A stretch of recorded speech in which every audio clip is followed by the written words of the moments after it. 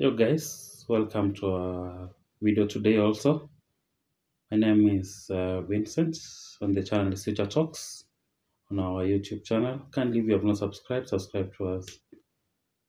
Sexual behaviors, practices and attitudes vary widely throughout the world and I know uh, my my my listener and uh, those watching us you also have your take on uh, sexual behaviors in uh, in uh, in your community, also in aspects, especially in Africa communities. Uh, communities factors such as religion, cultural norms, education, and socioeconomic conditions uh, affect the behavior and attitudes towards sex. Especially in Africa, discussing uh, sexual matters is considered to be very sensitive and culturally it can be not be very comfortable to be discussed especially you find like a parent discussing the same with the, the child and also the adults discussing with the young ones. It is one of the sex is one of the most ignored topic to be discussed in the family setting and also most most widely in africa but it has detrimental effects in uh, African population, especially the young population. When we talk matters uh, early pregnancy, when we talk matters uh, uh, sexually transmitted diseases, that is the STD, and also unplanned marriages and also unplanned uh, pregnancies. So it varies, especially uh, because we have different religions here in Africa we also have uh, the, the culture, the, the people practice different cultures. Also, depending on the education and also socioeconomic condition, they influence the sexual behavior and attitudes uh, towards uh, sex. So, discussing matters sensitive, uh, such as sex, can be very difficult, especially in Africa and uh, most of the time they cannot be discussed openly. They are discussed uh, secretly. And uh, all comes with some other effects which affect how people live and also get to to to know each other and also get to to influence their behavior. So to gain more accurate understanding of sexual behaviors and attitudes in, uh, in specific in African countries or regions, it is essential to refer to research studies conducted by reputable organizations so that we get uh, the proper, where we have the proper response, especially with the organizations, government agencies, health institutions uh, that focus on sexual health and uh, behavior because that's a very important aspect in, uh, in a wider population.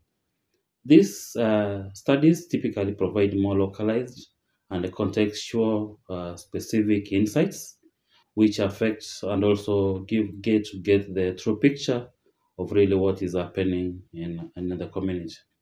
However, it is crucial to approach the such information with cultural sensitivity and avoid generalization about the entire population. So the topic of this uh, uh, video is uh, uh, how long does sex last on average? So when we talk about uh, average, how, how long does sex last? Uh, according to the studies, the duration, the, the duration or the timing of uh, sexual intercourse can vary widely among individuals, and uh, it depends uh, on several factors and these factors uh, include preference, they include physical health, age, experience, and level of arousal. There is no fixed or average duration for sex that applies to everyone. Uh, like I've said, uh, based on research and other things, uh, this uh, how long uh, does sex last on average? It depends on uh, individual studies and also considering the health of a person, the age, the experience, and the level of uh, arousal for the partners involved in this.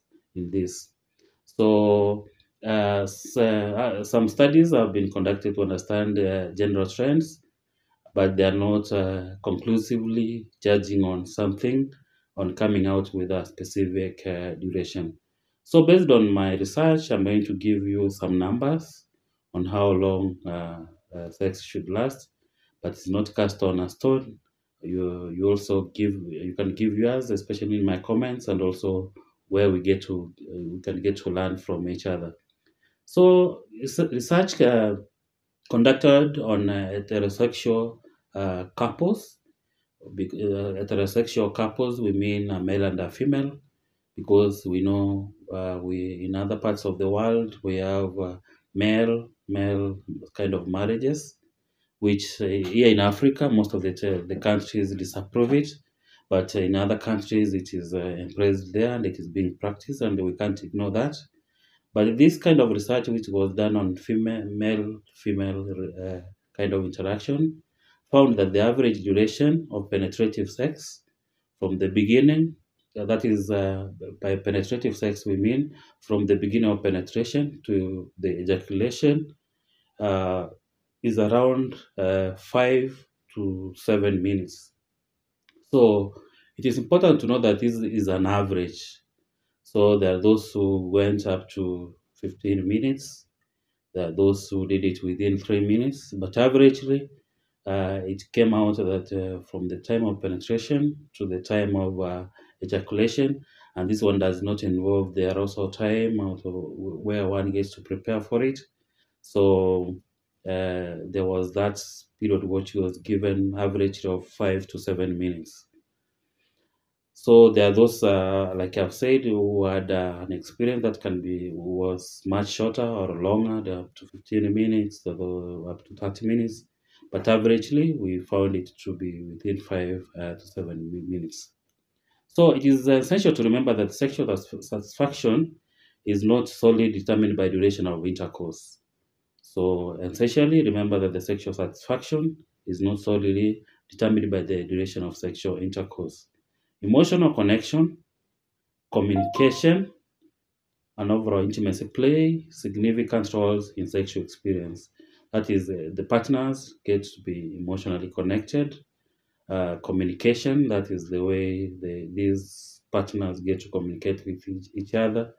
And overall intimacy, they have, uh, they, they, all in all, they bring about the experience, uh, whether a good experience or a bad experience, or the satisfaction at the end of the day of this kind of uh, uh, sexual experience. So couples should focus on open communication and understanding each other's uh, needs and desires rather than solely focusing on the duration of sex. Yes, duration is important, but um, open communication and understanding each other's needs and desires rather than solely focusing on the duration of sex. So communication is very important when we, when we, we come to the how long this uh, sexual experience should last, and uh, uh, so you should uh, the, the partner should understand each other over the same so that to get the best results for uh, which fits each other. Or if you or someone you know is concerned about sexual performance or satisfaction it is best to consult the healthcare professional or a qualified sex therapist who can provide personalized advice and also uh, guidance especially in the hospital setting. That's where you can get uh, uh, the best advice if you feel it you are challenged with the timing over the same it's very important to come to the hospital uh, so that you get uh, to share with your doctor or a family doctor that sexual thera- therapist to guide you accordingly. Because some of these things may be psychological maybe medical and also maybe some health changes which can be approached and the one gets to be get that uh, uh, satisfaction. How long is not a big issue but how and also that kind of communication I've mentioned above is very important that we get to consider it. We, there's what we call intra, int- intravaginal ejaculation latency time. Intravaginal ejaculation latency time. It is called IELT, intravaginal ejaculation latency time. Uh, this uh, refers to the time taken from the start of vaginal uh, penetration to ejaculation uh, in males. So I I L I E L T intravaginal ejaculation latest time is very important, and it is more scientific, where it is it is uh, calculated from the time of penetration up to the time the ejaculation comes uh, about, and this is normally done on men.